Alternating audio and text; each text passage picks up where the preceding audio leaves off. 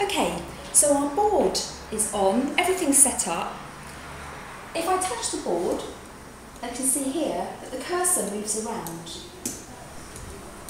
You may find, however, that sometimes you come into a room and if the projector has been knocked, you may find that you touch the board and the cursor doesn't appear where the pen makes contact with the board.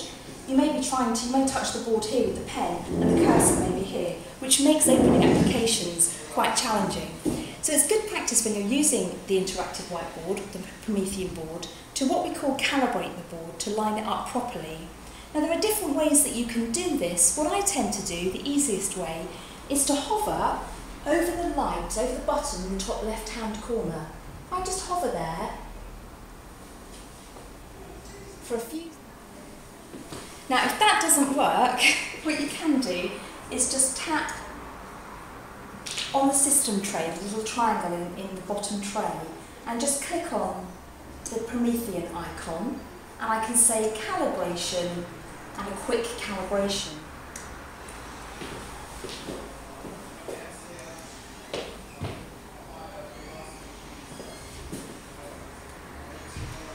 And the more carefully you can do that, obviously the more accurate your board will be.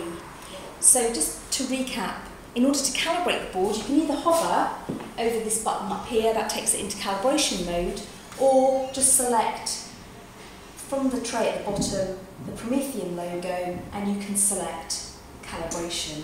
So now our board is perfectly lined up where I touch the board, the cursor appears.